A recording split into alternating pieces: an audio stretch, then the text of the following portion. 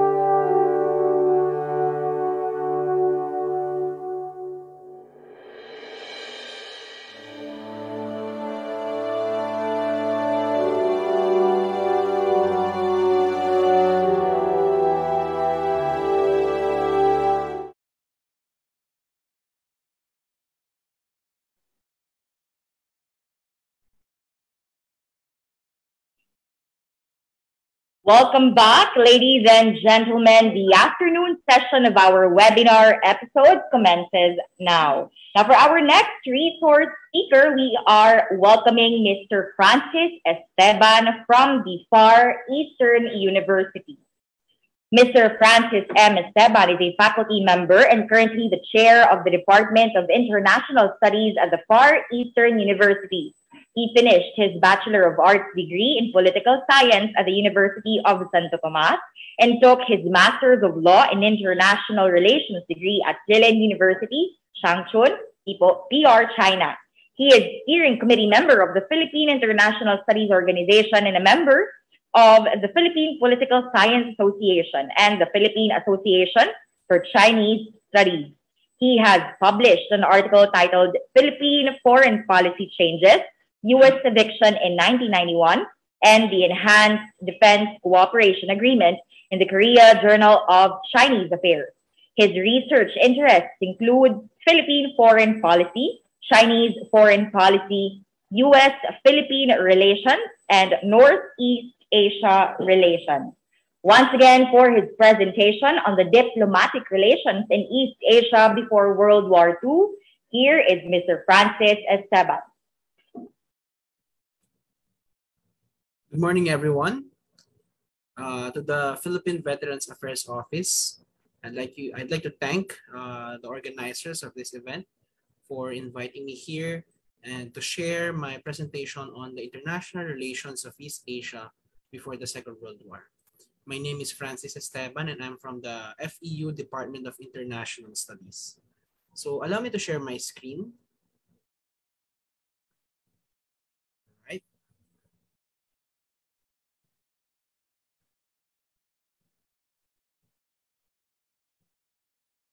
All right, so again, uh, good day to everyone. I'm here to talk about the international relations of East Asia before the Second World War. Um, again, my name is Francis and I'm from the Department of International Studies of the Far Eastern University Institute of Arts and Sciences. And why do we actually have to talk about this? Why do we have to know or why do we have to understand what's happening in East Asia before World War II? Well, precisely for one reason is that what's happening before the Second World War, particularly in East Asia, eventually led to the events, to the catastrophic events of the Second World War. So we're going to find out the events, we're going to find out the reasons, the, the, the motivations behind the countries, behind the empires in East Asia, and how it all fall into the Second World War. So let me give a very quick presentation outline. So first, of course, we're going to talk about what it means or what does hierarchy and stability in pre-colonial East Asia means. After that, we're going to jump to the fall of the Chinese Empire or during the time of the Qing dynasty, particularly that of the Hundred Years of Humiliation and the partition of China by major Western powers. And of course, by uh, Western powers, this already includes uh, Japan at that time. Then we're going to jump into Japanese militarism, the Meiji Restoration, and the, the Japanese imperialism, which eventually led to what we call the military overstretch of Japan. Okay, so let's proceed. So hierarchy and stability in East Asia, particularly pre-colonial East Asia, before the European colonial powers started their conquest no, of, of non-European uh, territories, particularly also here in Asia. It has been argued that there is a relative peace compared to Europe here in East Asia no, during pre-colonial times. One particular theory about this relative peace is the fact that there is a hierarchical structure. No? Pag sinabi nating hierarchy, isa itong struktura kung saan merong isang entity, no? Merong isang entity na nasa itaas ng structure na yun and being at the top means that entity is somehow an overlord, no? Someone that ensures that there would be peace, no, between the one at the top and the tributary states or the lower states or the smaller states no? China is at the center no? Basically it is china that is at the top of this hierarchy okay? So there are several reasons why china is like this. First of course is uh, geography if you're going to look at the geographical location of china it's lit- it's literally at the center almost at the center of east asia its vast accumulated lands also holds power. Its advanced civilization also holds influence over its tributary states. Kaya nga kung titignan ninyo no na ang tawag ng China sa sarili niya no the Chinese name for China is Zhongguo which when you literally translate means middle kingdom or middle state. Now, the lesser states or those tributary states acknowledge China's dominance over East Asia at that time. And that acknowledgement, no, that, that acknowledgement that there is a hierarchy that exists leads to China not interfering with their domestic affairs. This comes in opposite with the usual assumption na pag merong isang dominanting entity, na pag merong isang dominanting estado, ay most of the time makikialam siya sa affairs ng mga maliliit o ng lesser states, no? the hierarchy and stability in East Asia is brought about by two factors. First is the fact that there is a hierarchical structure, someone at the top overseeing the peaceful relations with the tributary states, and the tributary states acknowledging that someone at the top. Okay? And in return, that acknowledgement, yung mga paminsan-minsan na pagkoto no tawag na pag pagkoto o pag uh, acknowledge the power of the Chinese emperor would lead to China actually not interfering into the domestic affairs of those tributary states. Historical sources would see uh, uh, tributary states such as Vietnam at the time and Korea, no, acknowledging the, in, the acknowledging the power, acknowledging the dominance of the Chinese emperor, And with that, basically, there's very little interference no, na ginagawa ang China sa domestic affairs ng mga bansa na ito. So there's a relatively there's a relative peace compared to what's happening in Europe at that time, no? Sa napakadaming gera at uh, conflicts over territories na nangyayari sa Europe. And all of this uh, stability, no? Uh, relative uh, mostly 200 years of relative peace, no? it all came to an end, no? or the start of the end, sabi nga nila, came when uh, the fall of the Chinese Empire, particularly during the Qing Dynasty. The Qing Dynasty, no, it is the last dynastic empire of China. Surprisingly, it's also one of the longest and most prolific uh, dynasty, uh, imperial dynasty in China but it also saw the downfall of the Chinese Empire. And it is at this time, no, particularly in the latter years of the Qing dynasty, that we saw how the Middle Kingdom China started its decline as well. And with it comes the relative peace na sinasabi natin nun. No? So, tingnan natin, ano nga ba? What caused no, the fall of the Qing dynasty and the Chinese Empire? So the Qing dynasty lasted from 1636 until 1912. No? But at the height of its power, it also saw a lot of other factors. Sorry, at the fall, no, at the fall of its power, no, at the fall of the empire, it saw a lot of reasons kung bakit nangyari yun. First, of course, is foreign invasion. At the latter years of the Qing dynasty, we saw a lot of foreign interference into the domestic affairs of China already. No? We saw how European powers started to influence heavily and basically to partake, no? to have partitions in the land of China. So ano ba itong mga European powers ito? Of course, we saw uh, the colonial powers of Germany, Russia, France, to an extent even the United States, and at that time, at that unusual time, even Japan. So they were taking interest no, doon sa internal turmoil na nangyayari sa loob ng Qing dynasty. And there were a lot of peasant rebellions and religious sectarianism that's happening and official corruption and of course a mismanaging of the flood uh, in the Yellow River, no, one of the most uh, uh, significant rivers in China. So all of this contributed to the demise of the Qing dynasty, no, and the demise of the Qing dynasty in 1912. And it saw also a weakened China. It saw a weakened China, and what used to be at the top of the hierarchical order is now a weakened and lost China. No? Kung inyong napanood na yung pelikula na The Last Emperor, no? It's a good movie. I recommend everyone to watch that movie, The Last Emperor. It shows the story of the downfall of the Qing dynasty and how uh, China from an empire became a republic, no? Initially a republic. All right? Now, it begs the question. Ano na ngayon ang nangyari? No? Kung meron na nga or kung dati what keeps the hierarchy and stability in East Asia is a all-powerful China at the center, what happens now? That there's no someone to keep that stability or there's no someone to actually navigate the waters of that stability. Okay? We'll jump now to our discussion of what's happening in the neighboring country of Japan. No?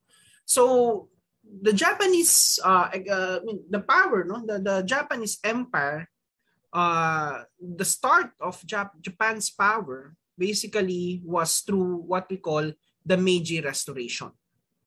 The Meiji restoration was a reaction to the isolationist policies of the former shogunate the former Tokugawa shogunate no? So what basically caused no Japan to open up. Because before the Meiji Restoration, Japan was a so isolated country. Now, it is because of several factors kung bakit nagkaroon ng katapusan sa isolation ng Japan. No?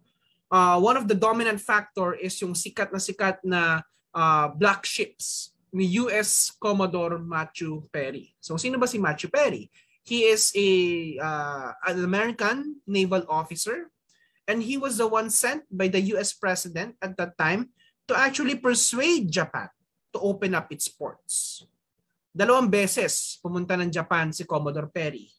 Una, para sabihin nga kay Japan, through friendly means pa to ah, through friendly means, para sabihin kay Japan na it would be beneficial for both the United States and Japan to enter into trade negotiations. Because at that time, no, at the time of the Tokugawa shogunate, no, it is only uh, Dutch, it's only the Dutch or the Netherlands that has commercial relations with an isolated Japan.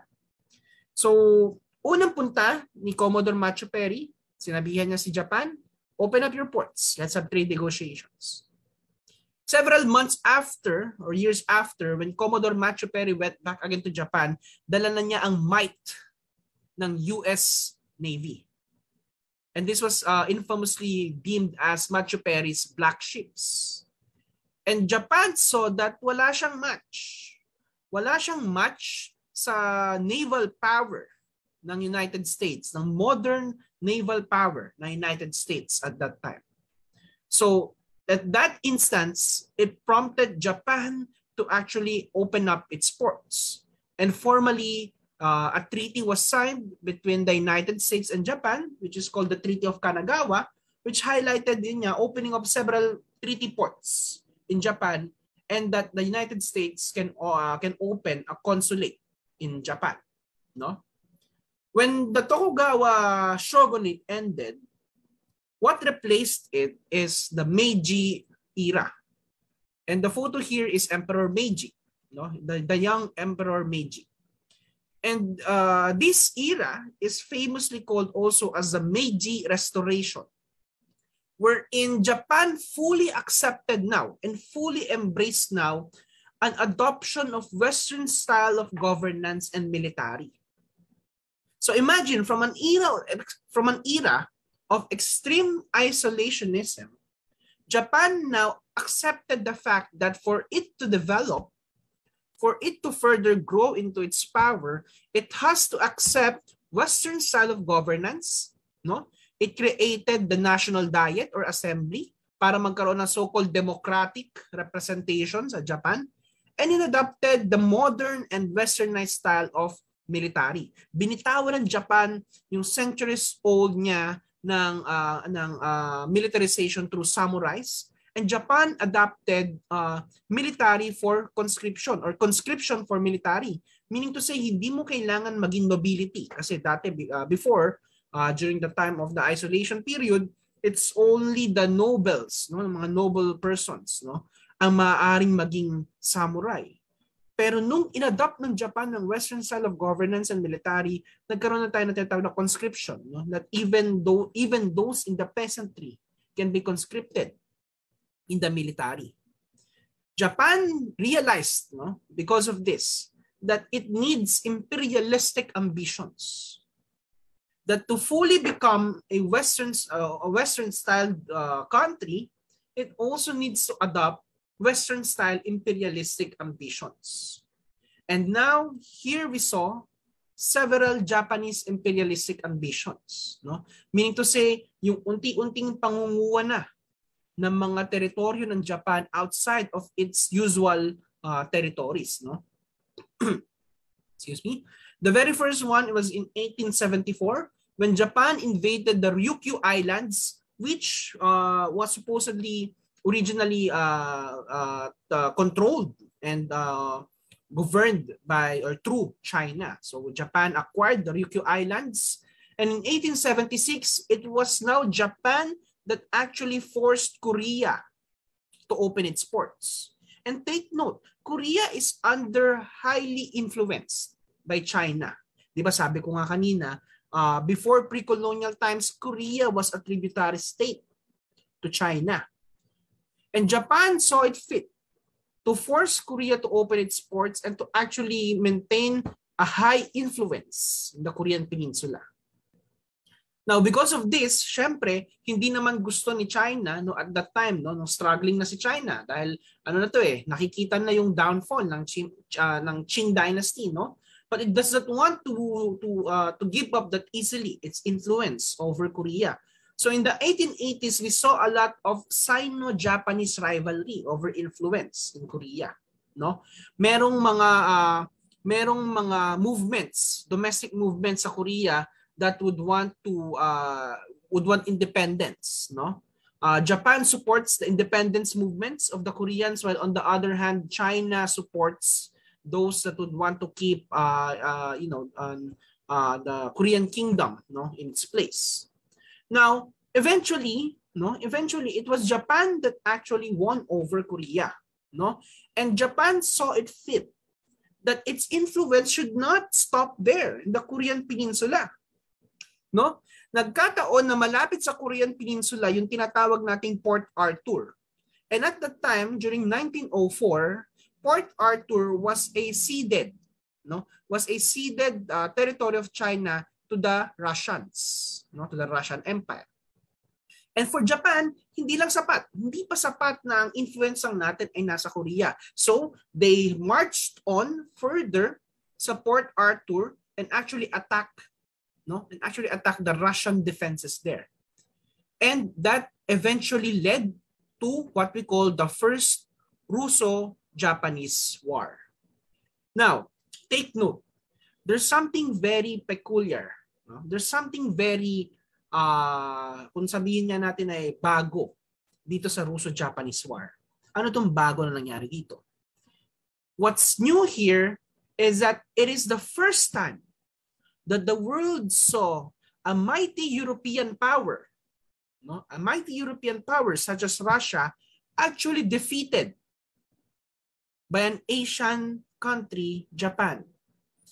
The world was really shocked that a country such as Japan at that time, which at that time scholars argue Japan is relatively weaker than Russia.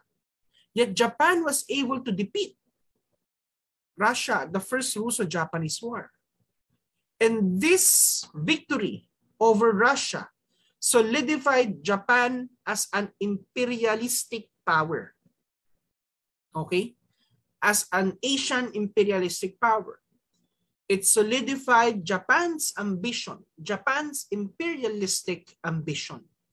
And it now further went on in 1908 with the formal annexation of Korea. Hindi na lang basta influence. Japan annexed Korea as part of its integral territory.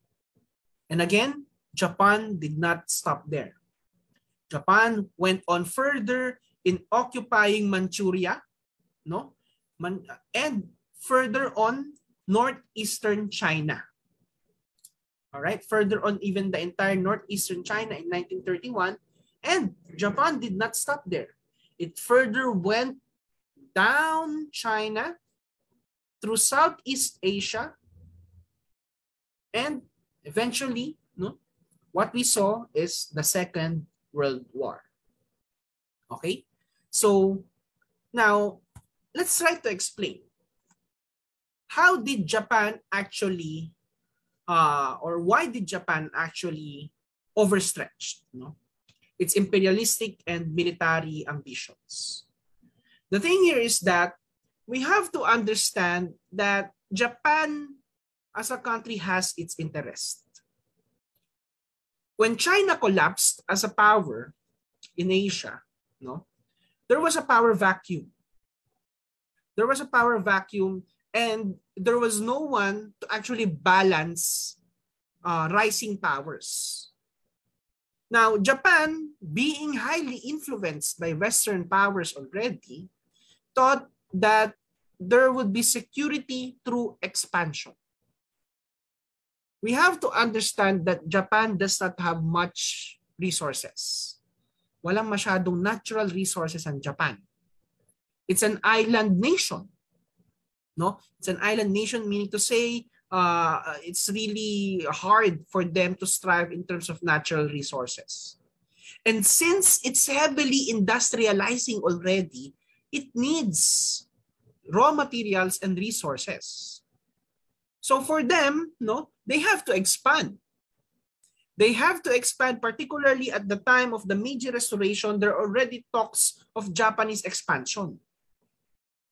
Because they think, or they thought rather, that security will be only attained through expansion. However, this is a myth. No? Some scholars would argue that security through expansion is just a myth and further on we'll realize that. Ano pa? Ano pang ibang dahilan ng Japanese military overstretched?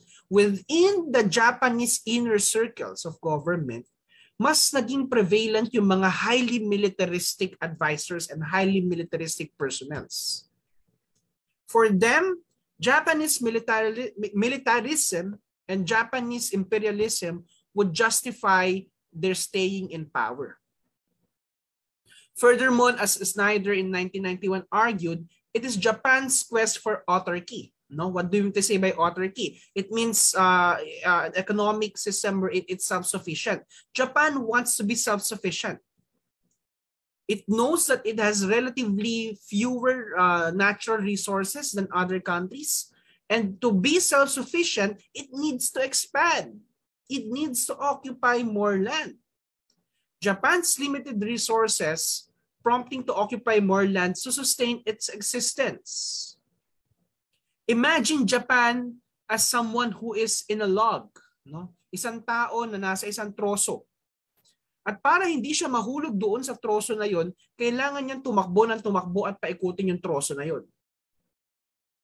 Habang patuloy niyang pinapaikot yung troso na yon, no? Unti-unti na napapagod din siya. Pero pag tumikil siya sa pagtakbo, mahuhulog siya doon sa troso na yon. Eventually, it lead to its demise. That is what we call in international relations as log rolling. Basically, Japan is caught on a dilemma no that it has to sustain its expansion through further expansion because if it will not expand no it will have no resources to sustain itself and in the end to even sustain mainland japan. Now to think of it was it actually or in retrospect was this a result of western pressures on japan? Come to think of it, would all this be in the mindset of Japan if not they were highly influenced by Western powers when they started to open up their ports no, to Matthew, uh, to Matthew Perry's black ships? Okay? And to conclude, no, we've talked that East Asia's relative peace and hierarchical structure is due to the fact that there is a dominant power and this dominant power uh, is being recognized by the tributary states. And in return, the dominant power, which is China, does not really uh, interfere with the domestic affairs of those tributary states. However, due to the fall of the Qing dynasty, we also saw, or we also uh, saw the fall of China as that dominant power in East Asia. And it created a power vacuum for power and influence, which a highly industrialized and highly modernized Japan took a chance on. However, Japan's military overstretch became a necessity for its survival. Japan needed, no? Japan needed that military overstretch to survive. Ironically, however, no, this led eventually to its demise at the end of the Second World War. Japan's military overstretch continued up until the Second World War. In fact, it's the reason why Japan bombed Pearl Harbor and entered the Second World War. US oil embargoes no, to Japan because of its highly uh, militaristic attitude na nga eh. Because, you know, why did the US uh, did an oil embargo? Well, for the reason that uh, Japan is not stopping and it's occupying lands in East Asia. So US had an oil embargo and Japan needed that oil embargo. And for Japan to get that oil again from you uh, from the United States, it has no more chance but to continue on overstretching and eventually proceed to a war with the United States. So it's ironic that Japan's military overstretch is a necessity for its survival, but it also eventually led to its demise at the end of the Second World War. And that concludes my presentation for today. That's a very brief introduction to the international relations of East Asia and how it all eventually led to the Second World War, where we here in the Philippines was affected. One key takeaway that I want to share with, uh, with you guys is that let's observe and let's learn from history. Are we actually seeing the events that led to the Second World War? Are we actually seeing something similar that is happening right now? I'm not saying that we are actually seeing, but I hope we can read the signs, we can read the patterns, no? And so that we can work things out para hindi na naman siya mag-lead sa isang napakalaki at napaka-destructive na gera. And again, thank you for listening. Thank you for uh, spending your time listening to this presentation. I hope there's something that you got, no? And uh, we're now open for your questions and I'll try my best to answer them. Once again, uh, this has been uh, the international relations of East Asia before the Second World War. Thank you very much and have a good day.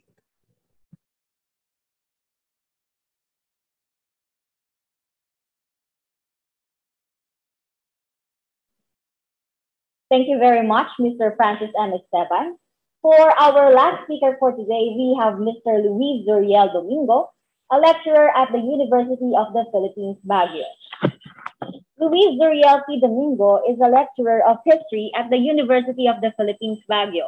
He earned his Bachelor of Arts in History at the University of Santo Tomas and at the verge of concluding his Master of Arts in History at the same university. Proactive in research, he is a student affiliate member and an early career researcher network member at the University of Sydney Southeast Asia Center and the London School of Economics and Political Science C3 Southeast Asia Center, respectively. He has presented and written works related to the history of nationalism in Southeast Asia, Philippine historiography, and pop culture. At present, he is working on his thesis project offering a detailed historical investigation related to the ratification of parity rights and the resurgence of post-war nationalism against foreign control of the econ economy in the Philippines. Ladies and gentlemen, let us all welcome Mr. Luis Zuriel Domingo.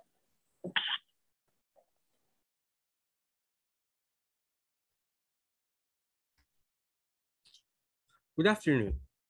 My talk for today delves on many aspects like military history, political and economic histories, history of ideals, but most importantly, a panoramic view of global history before the Second World War, with the Philippines at the center stage.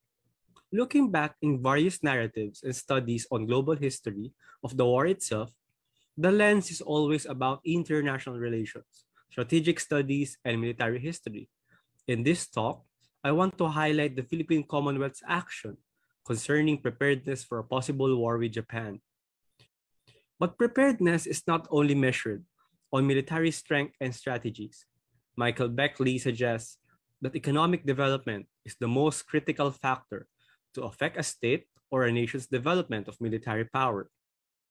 In his study of various battles and wars from 1898 to 1987, he suggests that the more economically developed side consistently outfought the poorer side on a soldier for soldier basis. The Philippine Commonwealth was in dilemma in 1935.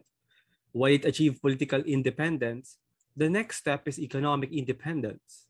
However, because of militarization of Japan and their expansionist campaigns in East Asia, national defense became the top priority of the Philippine Commonwealth. In his first address to the National Assembly, Quezon argued, quote, Self-defense is the supreme right of mankind, no more sacred to the individual than to the nation, the interests of which are immeasurable, of great significance and extent. A threat against the nation involves not alone the life of one individual, but of millions. And to ask your ungrudging support for the establishment of a sound system of national defense this is our first and most urgent need. But Quezon recognized and admitted that it is manifestly impossible with the state of the Philippine Commonwealth to acquire a naval fleet because of economic reasons. Politically, there was evidence of resistance in the act's passing, both inside and outside the assembly. Emilio Aguinaldo, for instance, expresses dissent and suggested relying first on the United States until the Philippines was granted complete independence. And the Commonwealth should prioritize solving the country's economic problems. Inside the assembly, the leading dissenter was Camilo Osias. As a champion of state support for education, he feared a militarization of young Filipinos and the Commonwealth's money and earnings should instead be spent on education and solving the country's problems like poverty and hunger. But the support for Quezon is formidable. Through the National Assembly, the Commonwealth Act No. 1 was signed and enacted in December of the same year, just 26 days after Quezon's inauguration. The Act's purpose was also known as the National Defense Act. It is to create an independent Philippine military. But as stated in Article 7, Section 16 of the National Defense Act, quote, the President of the Philippines shall have authority to appoint and maintain such technical advisors from the Army of the United States, unquote. Based on Japan's attitude before and during the interwar period and the United States' fear of a possible war, and the way I interpret the quick granting of the Tydings McDuffie Act of 1934 and the American support for the National Defense Act of 1935, it was an assurance that Filipinos are morally bound to defend the country in case of possible war in the Pacific, and the national defense of the Philippine Islands is not solely carried upon the colonial responsibility of the United States. Although it was economically painful for the US to give up the Philippines, it was the best strategy available militarily. National defense became a top priority, the economy only second to it through the Commonwealth Act number 2, establishing the National Economic Council. Military historians would agree that as early as 1911, a possible war with Japan is definitely to happen. The question, however, is when. The Philippines, given its tactical location in the Pacific, the National Defense Act was precisely strategic and necessary for the US, but detrimental for the Philippines. Ever since the US occupied the Philippines, our country became a magnet of aggression of whatever war is to happen in East Asia or Southeast Asia because of the growing and the clashing pan-Asianist sentiment and Western imperialism at the advent of the 20th century. But did Filipinos ever consider Japan a real aggressor before the war? It's pretty controversial. Following Japan's successive participation in wars beginning 1894 at the First Sino-Japanese War, quote, like any rising power, Japan was also developing an awareness of its national interests that lay far beyond its physical borders, unquote. Likewise, it was without a doubt why Bonifacio and the sought political recognition and military help from Japan in 1896. In the words of Emilio Jacinto, Japan, quote, being the only nation in the Far East that could lend help to the Philippines in the same manner that France lent aid to the United States to secure the latter's independence, unquote. And, quote, that the light of liberty of Japan will also shed its rays in the Philippines, unquote. But when the US acquired the Philippines, it had announced its presence in Japan's neighborhood. To understand the Filipino perception of the Japanese, we trace this back to the idea of Pan-Asianism. This explains the dissenting opinion of some Filipinos to the Commonwealth's government's move to militarize the country to the National Defense Act. To begin with, Filipinos never regarded the Japanese as aggressors, in the same way the US considered them. Before the years of the Philippine Commonwealth, Filipinos had a casual yet frigid relationship with the people of Japan. Nicole CuUnjieng Aboitiz uncovered this in her book, Asian Place, Filipino Nation. CuUnjieng Aboitiz traced how, quote, the propagandists employed Japan as a symbol of current power to heighten by association the Filipino sense of their Asian civilization and Asian history, as well as to awaken national pride, unquote. This admiration for Japan was shared by different nations, not only of the Philippines, Vietnam, India, China, and Indonesia. It was not until Japan used Pan-Asianism to validate their military expansionism beginning in the Second Sino-Japanese War in 1937 that some of these Asian nations had a fallout. Yet from the perspective of Japan, journalist Tokutomi Soho penned this as, quote, the countries of the Far East falling prey to the great powers of Europe is something that our nation will not stand for. We have the duty to maintain peace in East Asia, unquote. At first, in the Philippines, the influx of migrants and immigrants in the islands was not seen as a threat by the Americans the American government in the Philippines acquired the service of the Japanese. For example, in the construction of roads leading to Baguio.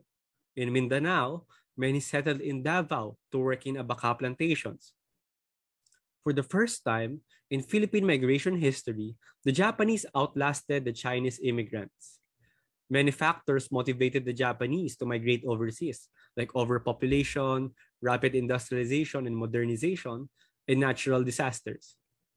But the US remained vigilant. From Western eyes, the migrations were considered internationalist plans of Japan's national development and imperial expansion, to the point that anti Japanese sentiment in the United States and the Philippines became a national issue. But admiration of Japanese culture and political system were central in the 1920s among Filipino intellectuals. In the 1920s, Japan shadowed the erratic years of the Meiji and brought forth a democratic and liberal phase. Its solid political, economic, and military institutions became proof of an Oriental nation capable of overtaking or being in competition with Western nations. Some Filipino academics and politicians even considered Japan's political system as an example worth reviewing because it is the only Oriental country to be modern and free from excessive Western influences. In a speech delivered before the Philippine Society of Japan in Tokyo, President Quezon assured that the future of Japan-Philippine relations, quote, Japan and the Philippines are neighbors, and it is to their mutual interest that they be friends. And friendship can only be promoted through fair dealing and justice on both sides, unquote. He also spoke about peace and cooperation. Quote, I am confident, in fact, it is my earnest endeavor that in the future there will be always be the heartiest cooperation between your people and my people in everything that means the progress and peace not only on this part of the world, but also of mankind in general, unquote. He even reiterated the allegations of the so-called Japanese problem in Davao were unsound and that the Filipino-Japanese relationship in Mindanao is nothing to be concerned about. Although not yet established, we can conclude that Pan-Asianism might be the reason why some Filipinos quickly cooperated with the Japanese during the Second World War. Some veterans of the Philippine Revolution welcomed the inception of the Second Republic in 1943. They have a common enemy, Western imperialism. But this premise, of course, takes further study and understanding.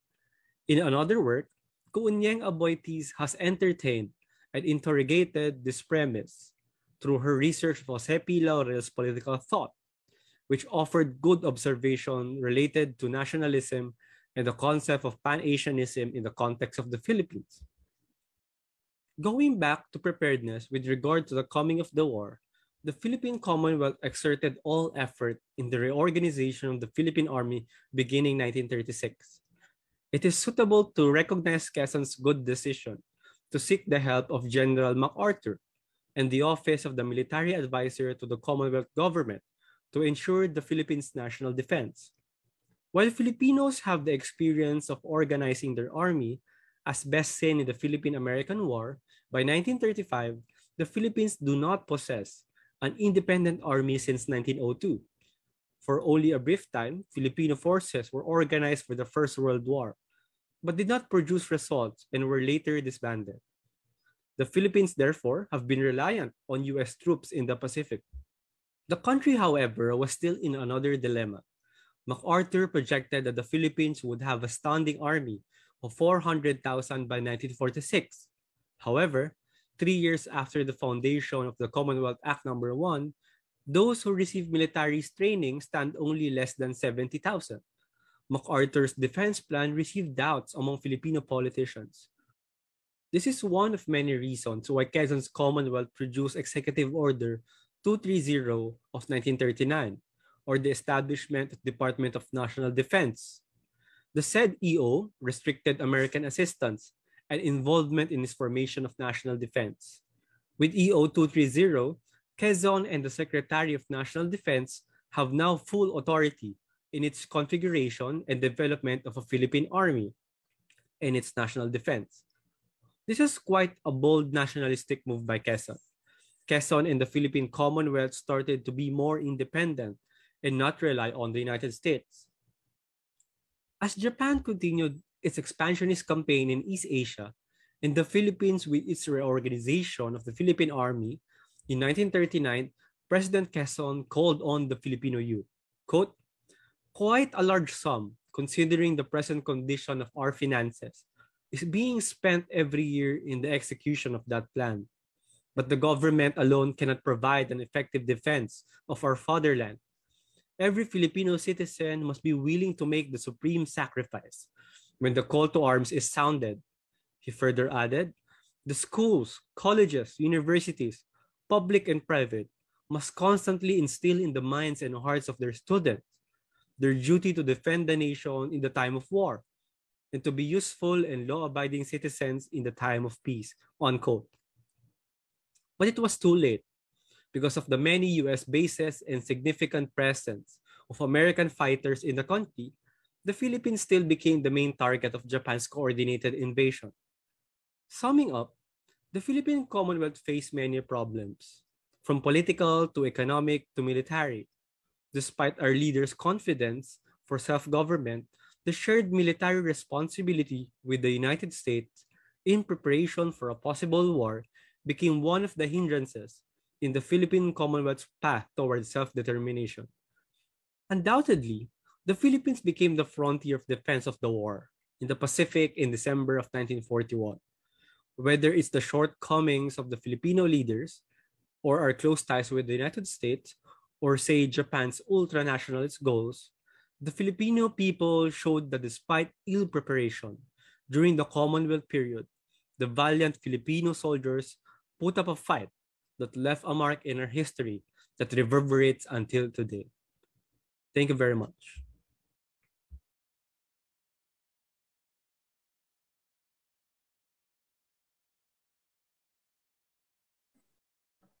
Thank you very much, Mr. Domingo.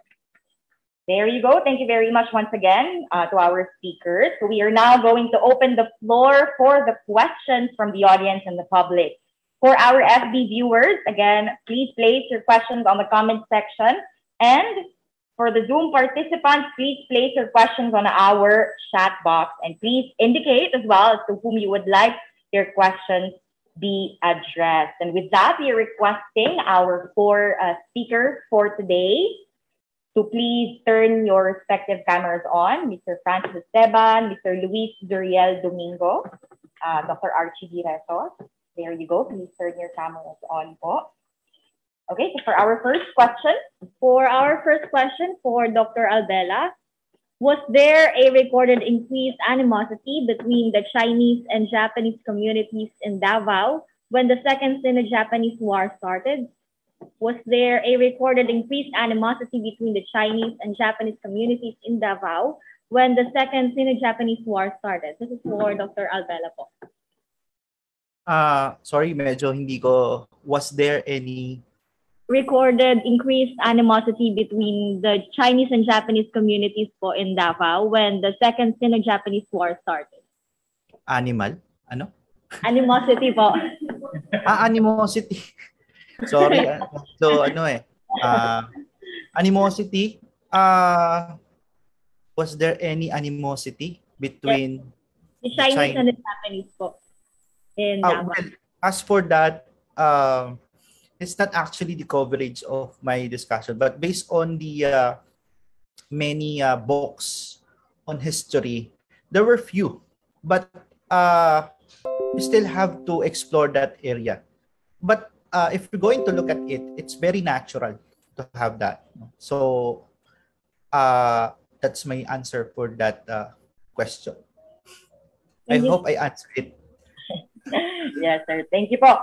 Okay, next question. This is from uh, Reno, from one of our Zoom participants. This is for Mr. Esteban. Now, sir, can you discuss Japan's relation with the Western powers and the impact of the League of Nations, nations rather? Right. Hi. Uh, can you hear me? Yes, sir. Okay. Uh, so well, Japan's relation with the with the Western powers at that time, uh, in, in which particular uh, period are you uh, referring to? Uh, before the war, Japan had dynamic relations with Western powers. Uh, one can look at the example at uh, Japan's relationship with the Russian uh, with the Russian Empire, no, that uh, uh, was uh, really tarnished by what happened during the Russo-Japanese War. No?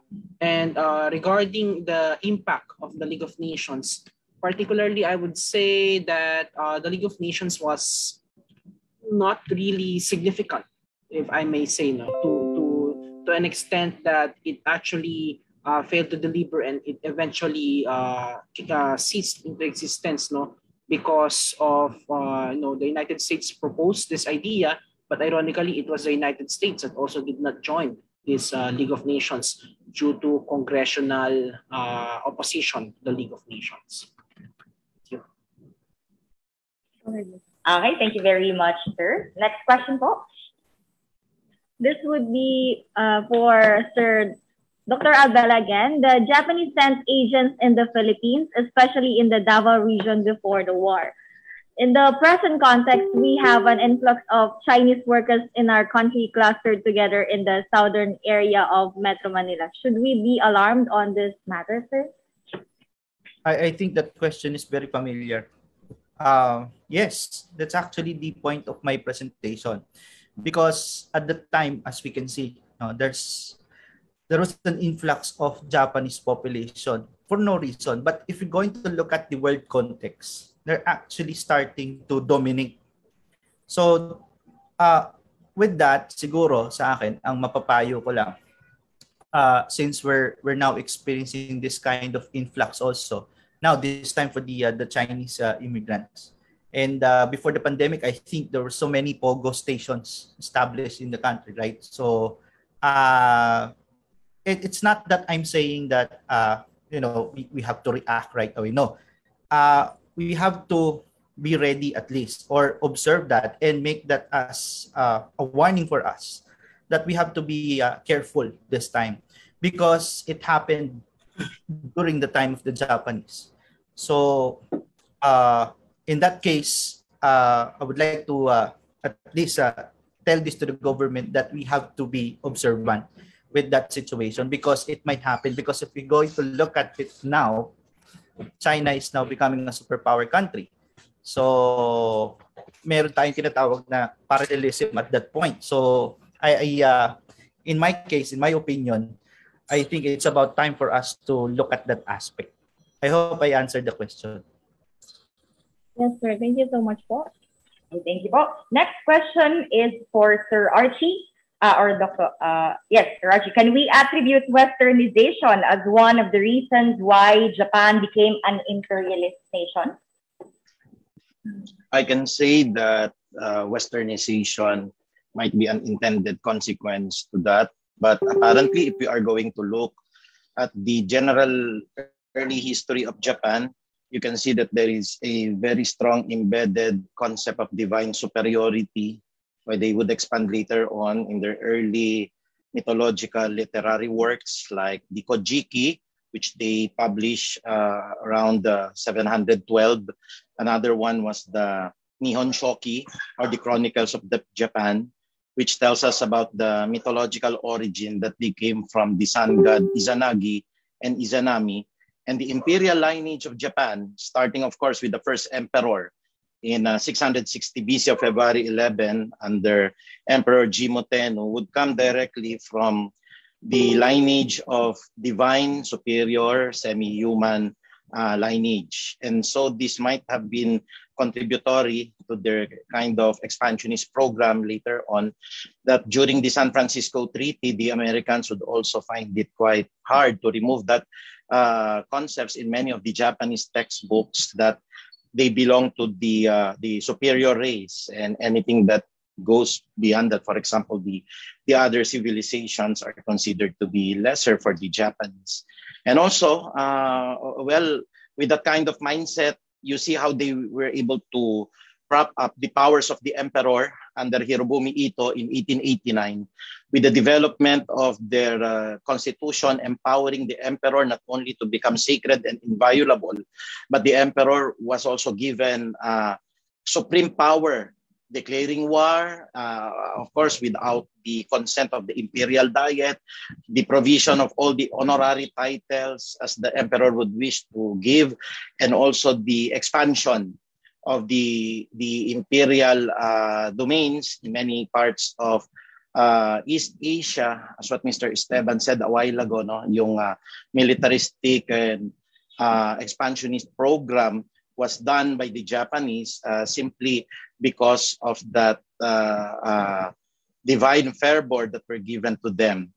When the Americans came in uh, around 1945 and they tried to remove these kinds of influence in the mindset of the Japanese, the first thing that they did was to remove all of these legendary textbooks that were considered to be part of their historical underpinning. So they had to remove all these textbooks. They orient all their values the patriarchal, uh, male-dominated values of the Japanese. Women were given rights to vote, and uh, with that, they, they were able to develop themselves.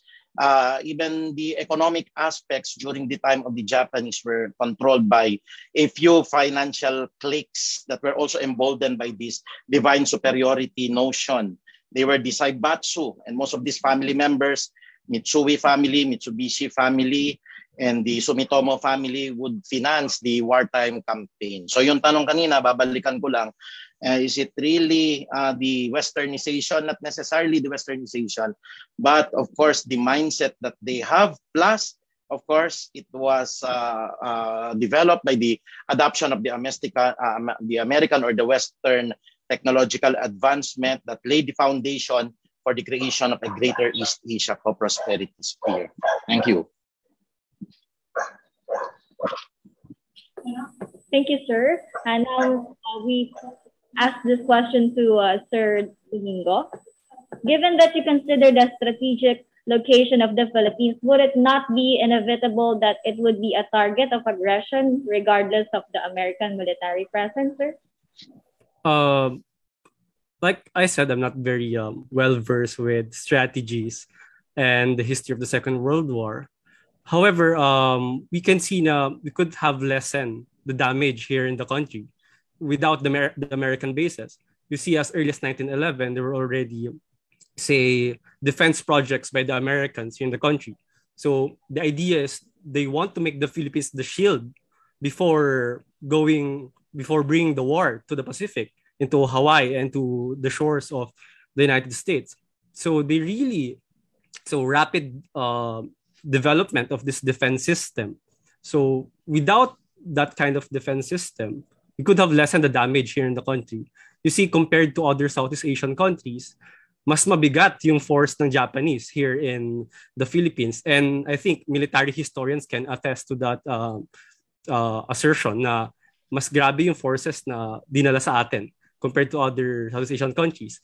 And you see, the Philippine government cannot make a decision by itself, despite the Commonwealth government, given the transition period already, we have to um, depend on the decision of the United States, especially to General MacArthur. So Quezon, you see Quezon, um, kailangan din niya dumepende. So, so anong decision kay MacArthur and what Washington gives to MacArthur. Okay po, thank you very much. Next po to uh, Mr. Esteban. Prior to the event of the fall of China's dynasty, did the Japanese already uh, see a potential economic relationship with the Philippines that later on became the cause of the diplomatic relationship between Japan and the Philippines? Okay, so uh, the question is about prior to the fall of the Chinese dynasty. Well, if we're gonna talk about the prior prior to the fall of the Qing dynasty, to be more specific, uh, Japan was in isolation. You know, Japan maintained this uh, principle, this uh, doctrine of isolationism. No, that's why uh, it was really uh, uh, shocked and uh, kung lagay na sabihin natin uh, nawindang nga nung talagang nakita niya yung mga black ships ni Matthew Perry no. So uh, uh, I, I'm I'm not a historian to talk about more on the history of Philippine uh, Japan relations prior to the fall of the Qing dynasty but I I would I can say that at that time, no, prior again, uh, emphasize I, uh, put emphasis on prior to the fall of the Qing dynasty, which means prior to the arrival of uh, Matthew Perry's ships, Japan was in isolation and uh, uh, bibihira at uh, very few foreign relations ng Japan, very restricted. In fact, uh, I think uh, it is only the Netherlands, uh, the only Western country at that time that can access trade, no, and uh, trade and commerce with uh, Japan. Okay po, thank you po. Now this question is uh, to uh, address to all of our speakers. So with the current technological advancements during our time, misinformation is very rampant. Now something that can also be seen in other countries are conspiracy theories Now, do you have any idea about why uh, they choose to misinform and how do you think should this be generally solved? So this is about uh, misinformation. So, uh, Sir uh, Francis Esteban, you can start po. Okay. Uh, well, the question is, uh, how do we avoid or why do people choose to be misinformed? But in a way, I think it's somehow very, uh, very far from the topic that we're actually discussing. But to just give an idea and you know share my own uh, thoughts on that, well, people choose to be misinformed because you know it takes time to learn, diba? It takes time to learn. It takes effort to learn. It, it, it, in fact, I would even dare say that at this time, it takes courage to learn. So people would choose to be misinformed because sometimes it's the easiest way for them to have information. So how do we battle or how do we fight misinformation? We give correct and accessible uh, factual-based information. Because as um, as vague as um, as uh, as uh, hindi man maganda pakinggan, no? Pero matyaga, kailangan ng tiyaga para matuto. At minsan yung pagiging matyaga ay sa pag uh, para matuto ay minsan nagiging luxury na sa iba nating kababayan. Kaya siguro pinipili na lang din na maging misinformed. Any insights, Sir Albella?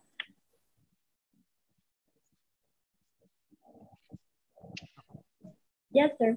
Regarding the misinformation. Question is with the current technological advancements during our time. Tama ba? Misinformation is very rampant. Uh, I would like to answer that first sentence. In fact, kahit wala pa ng technological advancements na yan, since the time of immemorial, meron ng misinformation because it serves its purpose. We all know, okay, from uh, our histories, uh, even before and until now, okay, kahit ng Philippine-American War, ang dami niyan. Uh, even the Americans, uh, they produce yellow journalists because they have to write something okay an information that will cuddle the government and the rest of the uh, the members of the congress to pass the treaty of paris. You know this misinformation hindi mawawala yan okay? It's always there because uh, that's what we call propaganda okay? And propaganda serve always its purpose. At ano yon okay? To to uh, bring the uh, the people I believe on them and support them so that at the end sila lalabas na tama. Ngayon, what uh, ano sabi dito? Do you have any idea about to choose to? Ganito yan. Uh, it's very easy to so, to solve this thing. Uh, in the age of uh, technology right now, okay? The technology is somehow uh, very good. Uh, I don't know in the Philippines no because the internet is so bad. But anyway, uh, dapat ginagamit natin yung tinatawag natin na technology din. Okay? To research. Okay? And then at the same time, to look for the validation. We have to be vigilant on all the information that we got from the, especially in Facebook, so, uh, other social media uh, avenues. Kasi itong mga ito, minsan, wala naman itong mga citation eh. Wala naman itong mga references eh. Ba? Hindi ka agad-agad ganon. Not unless kung yung nag-post, eh may meron siyang ready reference for that. But uh, at the age of the uh, technology, we shall use also the technology to advance our research. Research is actually the the answer for that misinformation. That's why uh, in the in the country, okay, uh, nag-advocate ako yung parang kasi tayo sa academic, ba, kami sa academic, no, it's very easy for us to say, eh, it's research, no, the solution for the misinformation. It's very easy to say that. But when you go to the streets, you go to the balot vendor, the cigarette vendor, etc., paano nila ma-reach yun? That's why uh, most of the time, if some of you already noticed me in other other webinars and conferences before, binababa ko yung language eh. Okay? Binababa ko yung wika. And uh, I always make it the point that I, uh, you know, I devise some, uh, you know, words, vocabularies, choice vocabularies para ma-encourage din yung mga simpleng tao na nakakausap natin, no? Kabawa sa jeep, no? Kabatian tayo, nagkangitian kayo. Para makausap natin sila na there's uh, a lot of ways now because of technology na pwede nating inform yung sarili natin. Uh, the, I, I think that uh, that could be the uh, the answer for that. I hope I answered the question. Salamat. Thank you, sir. Um, uh, would you like to add anything, Sir Resos? Dr. Resos? I consider information and misinformation a power, and we consider that an edge in any battle both Machiavellian and Sun Tzu would always tell that uh, deception is considered to be an art in any warfare. Well, uh, providing information is good because uh, it gives us an edge in any battle. But he, according to Sun Tzu, who masters this information and he who is able to utilize deception usually wins the battle. The Japanese did use that during the time of their annexation of uh, Southeast Asia. They, they were trying to, to inform the Americans that it would be possibly the Philippines first and then Singapore or perhaps Hong Kong. But they bombarded Pearl Harbor unknowingly on the part of the United States because of this disinformation campaign. Um, I would consider that something that is very powerful right now. It is being used by many nations.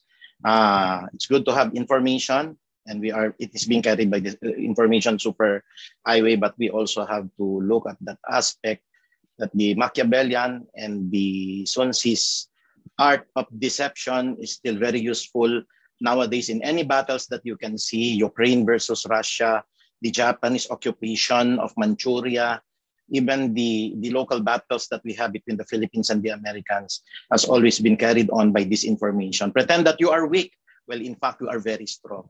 Pretend that you, you do not know anything, but in fact, you are knowledgeable about the subject matter. So uh, uh, I think that's how it is being utilized right now uh, in many nations. Thank you. Thank you very much, Dr. Resos. And lastly po, Sir Domingo, anything to add?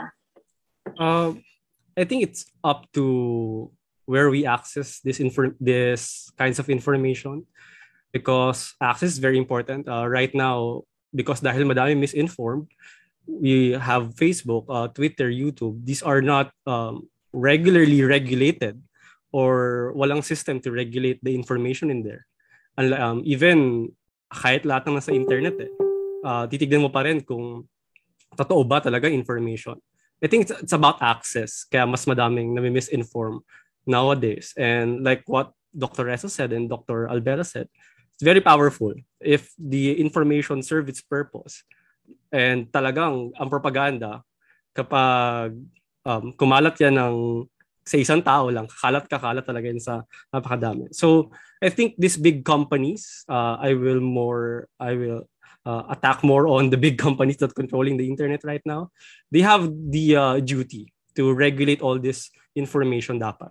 Sila yung, hindi na sa tao yun eh. Um, it's not your say, um, hindi mo pagkakamali kung misinformed ka.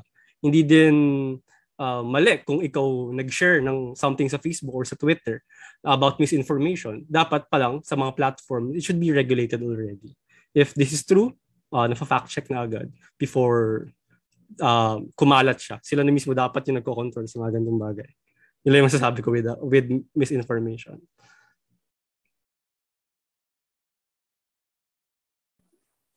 Yan. Thank you very much po to our speakers. Hindi po, we have to be responsible po sa information na pinifeed sa atin ng ating mga social media.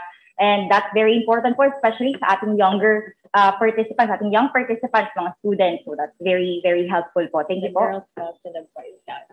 Uh, we'd like to uh, have another question po from John Edson Marasigan po for Sir Domingo. Are there African Americans who served in the U.S. Army in the Philippines during World War II? Uh, like I said a while ago, I'm not an expert on uh, the Second World War and, and military history. And this is very uh, demographic, so I have no answer to this. But I believe during the Philippine American War, there were Black American soldiers who served under the Americans. And this is a very interesting topic na hindi pa well explored on how these Black Americans uh, felt felt during the war because uh, we were treated as sabihin na natin blacks also or say the word use the word um, niggers. So habang sila ginagamit sila ng mga white Americans to say wage war to us. So there were conflicts actually with regard to how they were used by the white Americans during the Philippine-American War.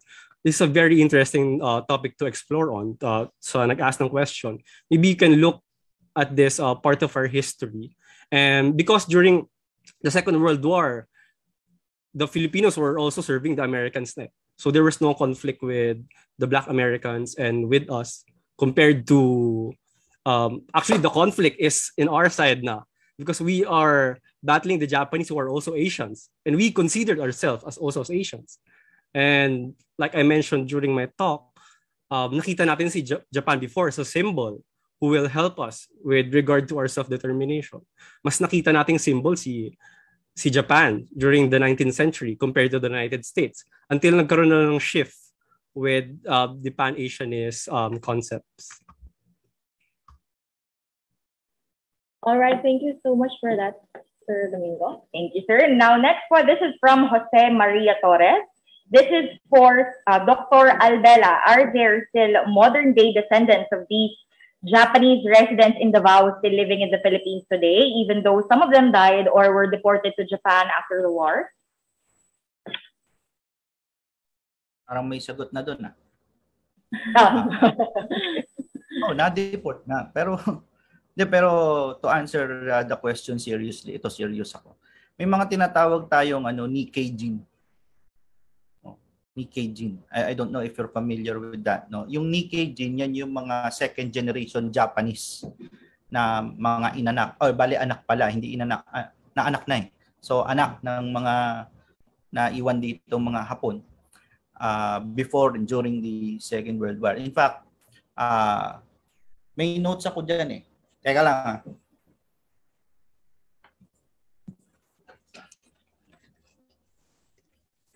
Ay, ito. Okay. Th- This is actually, I got this from my class before sa Japanese under Dr. Resos. Siya ang teacher ko noon. si, ang Nikkei gene may tatlong categories yan. Kasi nagkaroon nung 1995 ng ah, ah, what do you call this? Parang ah, survey.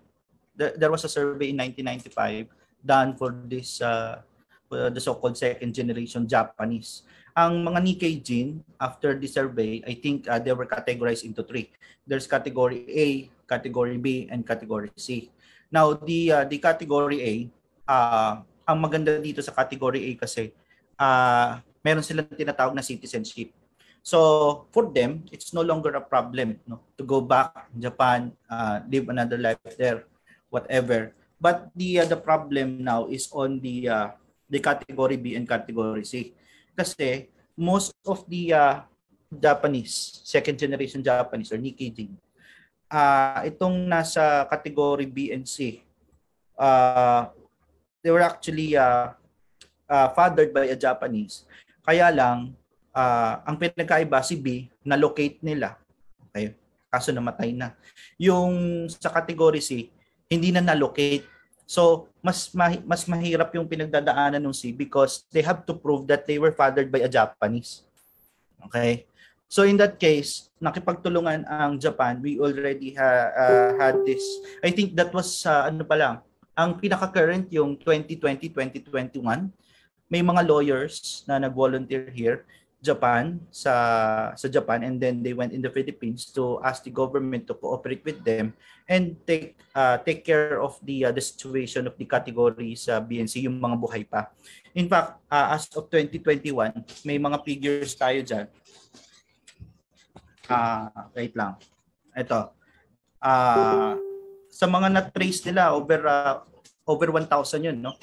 Ang alive is uh, more or less mga nasa 220, 29, 30 hanggang 30.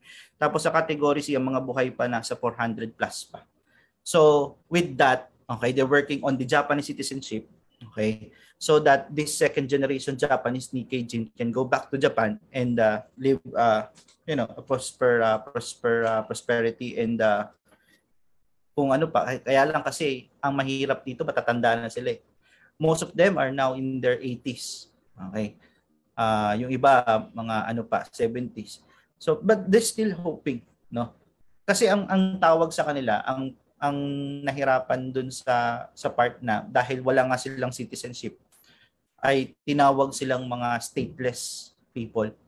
Although uh, they can uh, they can be identified as Japanese but of course no, may mga legalities kasi pinag-uusapan. Pero yun uh, to answer the question, yes, may mga may mga ano tayo dito uh, uh, nabubuhay pa na second generation Japanese na inanak ng mga tumira dito before the war and during the war. Thank you. Thank you, Dr. Alvela. Now, this is from John Emmanuel Velasquez. This is for Mr. Zuriel Domingo. I would like to know how did Southeast Asian revolutionists and Pan-Asianists figures from Vietnam and Philippines reacted upon learning that Japan began to expand southwards and conquer their homelands in 1941? Uh, very interesting question because I said a while ago, as early as um, mid um, to late 19th century, we have many uh, revolutionaries in in Tokyo and in Yokohama. They stayed there because uh, they seek refuge there and during also at the turn of the century na nakita nila na Japan became a symbol that can free them from Western imperialism. And there's actually a fallout to all the Pan-Asianists and to all this revolutionary in in Japan. Actually, before that, during the Philippine-American War or during uh, the Philippine Revolution, nakita nila naging symbol pa yung Philippines as a best an example. We have the Chinese revolutionaries who observed the revolution here in the country. Then the Indians, uh, all kinds of um, pan-Asianists, Asians doon, who are seeking um, independence also. Uh, isa lang kasi kalaban nila eh, during that time, which is Western imperialism. However, nagkaroon ng fallout nung nakita nila na Japan is turning to be that kind of imperialist na during the turn of the century. And uh, magandang explore pa tong topic na to. Maybe we, uh, pan-Asianism can answer why many collaborated with the Japanese. Why uh, many um, hated the Americans prior to the Second World War. Why many also um, cooperated, uh, like I said, um, collaboration. Why many cooperated? Because very fresh pa eh, yung Philippine Revolution during the 1940s. And napaka-fresh pa ng Philippine-American War. We have these enemies who, con- who conquered us. Independent na tayo by 1898. Then, inannex tayo. And bigla sila magiging kaibigan natin. So, you have this many uh, sentiments during the 1940s why some Filipinos also cooperated with the Japanese during the Second World War. With the Vietnamese, uh, I can't answer this specifically because their top revolutionary, si Phan Pho Cha, died in 1940. So we don't know what happened. But during the late 19th century, very hopeful din siya with Japan to help Vietnam against the French. Pero sabi niya, then, according to studies about him, na wag din tayo magtiwala gaano kay Japan. We can use Japan to free us from the Western imperialists. But nakita kasi nila yung pag uh, katulad ng mga sabi ng sa talks ni Dr. Resos and ni Professor uh, Francis Esteban din, na nag-grow din kasi yung Japan at the turn of the century. So they have to be, say, cautious on trusting Japan during those uh, period.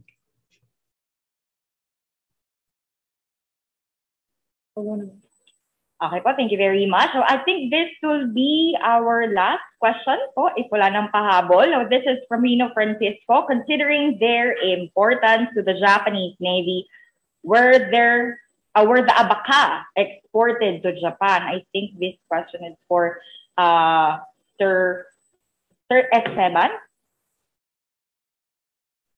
Sorry, uh, can you repeat uh, Yes, the sir. Yes, well, the question, sir, is considering their importance to the Japanese Navy, were the abaca exported to Japan?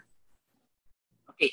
Uh, as much as I would like to share an answer to that, but uh, again, I'm, I'm not a historian. Uh, my expertise is on international relations. No? So, uh, international relations of East Asia for that uh, matter. So, uh, I'm sorry, I do not, I, I have no idea and, as much as uh, enthusiast to know if there Mhm. are or if there were at that time. Yes, sir. It's okay, sir. Uh, Uh, I Doctor, think I think the question is for me. Yes, Kasi may about abaka. Oh, very keen listener yung ano. The question is for me, I think. Oh, because I mentioned about the abaka, the two major plantations of abaka that's established by Furukawa and Oto. Yoshiburo, di ba kanina? Uh, the question, uh, if I may recall, May nag-export ba itong plantations na ito? Lalo na yung Furukawa, lumaki yun eh. Uh, sa Japan. Uh, you have to remember, as mentioned by Dr. Resos on his presentation, that the uh, the purpose, one of the purpose of the Greater East Asia Co-Prosperity Sphere is to enjoin all Asian nations to support Japan's cause. Economic, political, militarily, marami. At kasama na doon yung socio-economic. Kasi nag-embargo nga eh, 'di ba? Nag-impose ng embargo ng United States. Oil, scrap metals, etc. Ngayon, before the war, before pa yung mga embargo na yan, okay, they have, when they uh, saw now the the uh, the Davao, Davao ko, Davao ko, uh, potential uh, for the needs of the Japanese as they you know strengthen their uh, military uh, citizenship etc okay yes. Okay. We have so many records na itong mga plantations aside from their personal economic gains they're also supporting uh, the Japan's cause. Uh, because that would help Japan especially no during the embargo. Okay. In fact hindi lang yung nandito na mga Hapon hindi lang ano yan eh, hindi lang abaka na. Nagano pa nag-expand pa uh, naganap sila ng plantation ng uh, cotton for Japanese uniforms. Ay, naganap din sila ng mga plantations for uh, rice, corn, etc. Pinalaki din nila 'yon. Because uh, the the purpose of that is to support the cause of Japan in the war. Because at the very first uh, scenario after the Pearl Harbor attack, um, yung hindi kasi yung atake na yon if I can remember again no may uh, may class uh, when I was still a student uh, hindi nga natuwa doon yung ano eh, after the Pearl Harbor tama ba ako Dr. Archie? Hindi natuwa yung ano nila kasi hindi na, natupad yung target. So with that uh, dahil hindi nakita yung mga Japanese uh, yung mga US carriers na yan hindi yan na napasabog ng mga Hapon. Doon pa lang na, na ano na sila uh, nanginig na sila na we have to use this co-prosperity sphere to support our economic needs. So, kung ang tanong ay may mga records ba? Yes. There were records but it has uh, yet to explore okay, uh, by uh, the future researchers. Pagka nagkaroon ulit siguro ng pagkakataon, if I can uh, visit the National Library, the UST Library, and other libraries, okay, uh, gusto ko makita yung yung records na yun. Pero I I saw one before. So that's it. I, I hope that I uh, answered the question. Thank you so much, sir. Thank you so much, Dr. Albella. Now, this is for uh, everyone po. Prior to invading the Philippines in December 1941, did Imperial Japan collected over time enough intel that they can successfully conquer the Philippines despite the significant American military presence. Let me just repeat it again. Prior to invading the Philippines in December 1941, did Imperial Japan collected over time enough intel that they can successfully conquer the Philippines despite the significant American military presence? Mauna na ako, alphabetical order. Mauna na ako. Go ahead, sir. Sir Esteban, hello. Kamusta? Ayun, no? USTN ayun po, ayun, nga, ayun po. Uh, sige po, sir. Sige po, sir, kung gusto niyo po. Alphabetical tayo. Ako na. Ah, uh, ang tanong ay kung nakala, nakakuha ba sila ng enough intelligence report. Uh, not that much, pero it's already enough. Okay? I, I think I mentioned that in my presentation na meron talaga mga nakasign na mag-spy ang ano nga eh, ang dating, pag nabasa niyo yung libro ni Dr. Dibiana, yung Halo-Halo Hardware, di ba? Yung panahon ng mga businesses dito ng mga Hapon.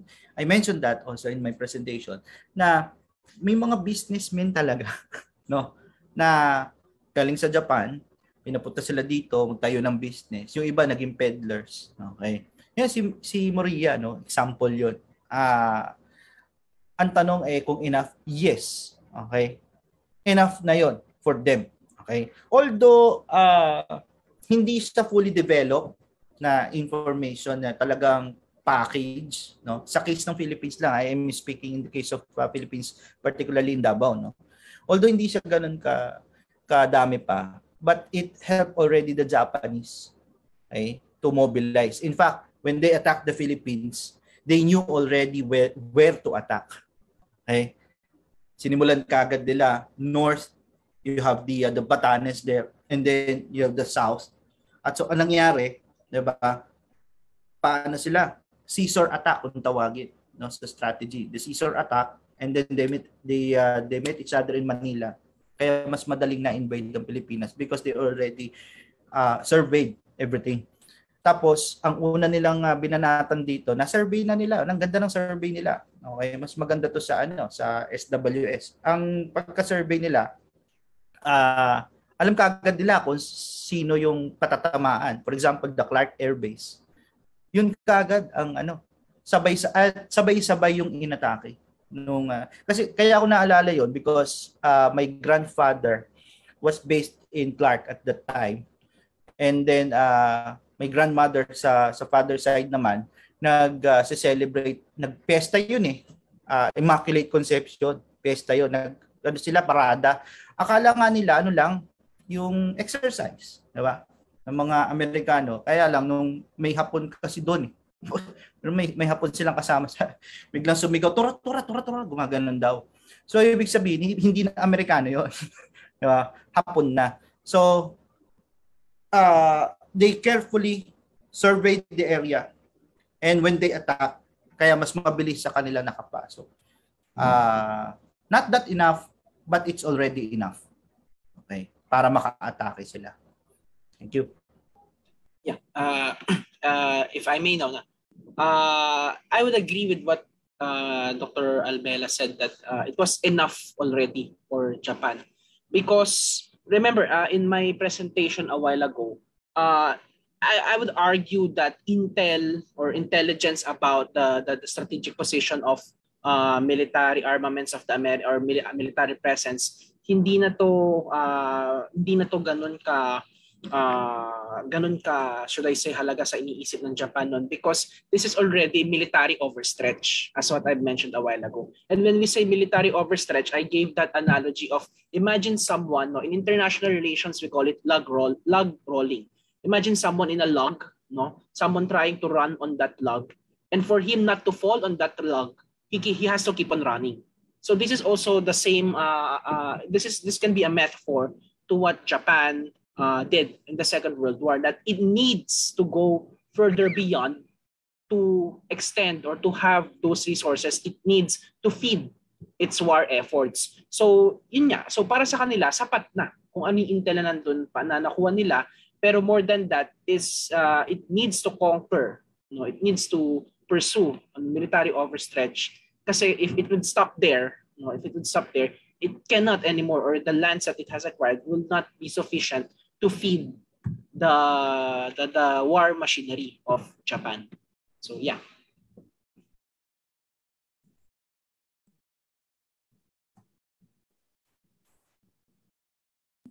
Would you like to add anything, Dr. Resot?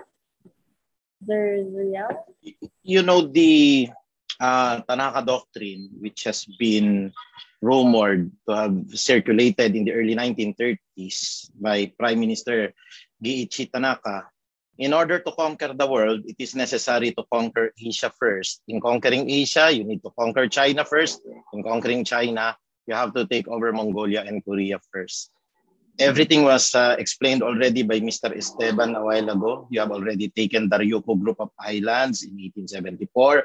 You have agreed with the Treaty of Kangwa in 1876. Thereby, Korea was freed from uh, its uh, isolationism by the Japanese imperial government. You have the signing uh, of the Treaty of Shimonoseki in 1895, and thereby you have almost taken parts of uh, uh, northeastern uh, China, including the area of Taiwan and Penghu. And then you have in 1910, supposedly the annexation of Korea. Um, China was placed under the 21 commands. They have a president at that time, Yuan Shikai, and Yuan Shikai was influenced already by the Japanese. 1931, you have the Mukden incident, and finally in 1937, you have the rape of Nanking and the China incident. What more do we need to know if they are prepared or not? They have already taken the entire Asian continent. And I think if that is going to be the, the question, they are more than prepared because almost uh, one half of the Asian continent were already under the Japanese. And they were very good. They made surgical uh, attacks in Pearl Harbor so that it will be paralyzed so that support will not enter the Philippines premise. They have bombarded Clark Air Base and many other fundamental American military installations in the Philippines. So I think, uh, well, lo- looking at the mastery of the terrain, knowing, of course, the art of having the proper weaponry system, the art of spying, and the deception propelled the Japanese people to become victorious po during their initial conquest of the Southeast Asian region. Thank you. Thank you very much, Dr. Reto. Anything to add po, uh, Sir Domingo? I have nothing more to add. I mean, all of them answered very well na talaga. much po. And if that, uh, I think that's all of our questions for today. So that ends our open forum. Okay. Thank you very much, everyone, for participating in our Q&A portion and for sending in your questions. Thank you very much to our research speakers as well for responding to our viewers' questions. As we now near the end of our program, let us have the administrator of Mount Samat Access, Mr. Francis Initorio, for his closing remarks.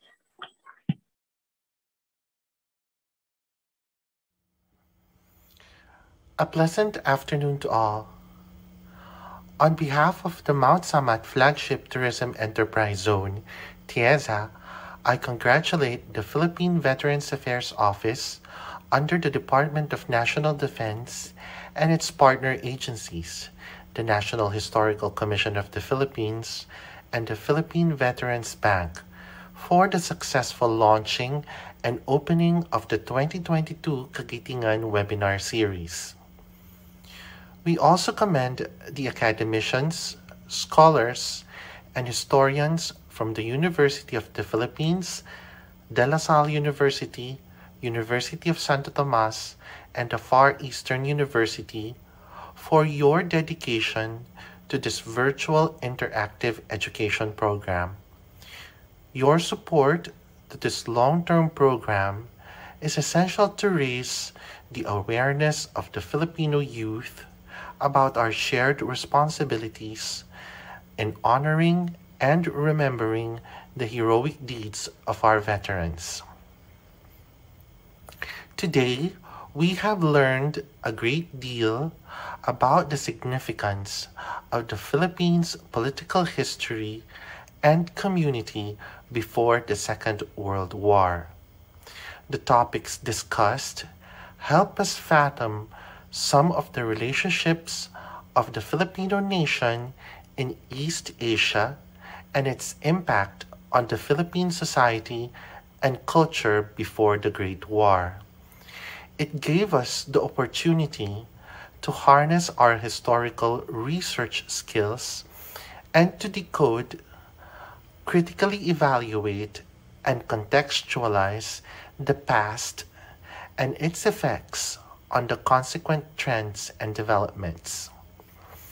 Moving forward, we aim to further tap the public interest in history as we continue to present in a nuanced manner the other 24 collective topics about the various unknown story of heroism and valor in the World War II. To the participants of today's learning sessions, thank you for taking time to join us. We look forward to sharing with you all the studies, researches, and stories that our organizers rigorously prepared for you. At this instance, I would like to assure the lead organizers, especially PVAO, that the Mount Samat FTEZ is fully committed in supporting you in this endeavor. As part of the pre-veterans and post-veterans week activities, the Mount Samat FTEZ will continue to implement the Patriotism and Valor Communication Plan and prepare other educational programs alongside this webinar series. Again, Congratulations to everyone. let us all enjoy the Kagitingan webinar series.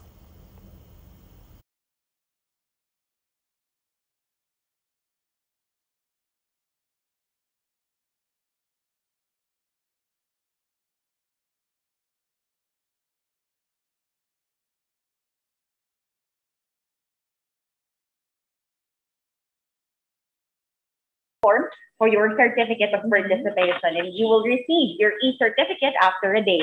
Kindly check your spam folder in case it was sent there instead of your inbox.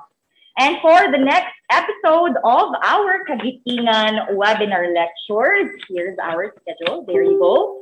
So this one is uh, with the theme, the American colonial period and the Japanese occupation. This will be on March 9, same time at 10 a.m. We will have Dr. Angelita Damilik, Dr. Jose Victor Z. Torres, Mr. Roman R. Sarmiento Jr., and Mr. Joselito Ebro.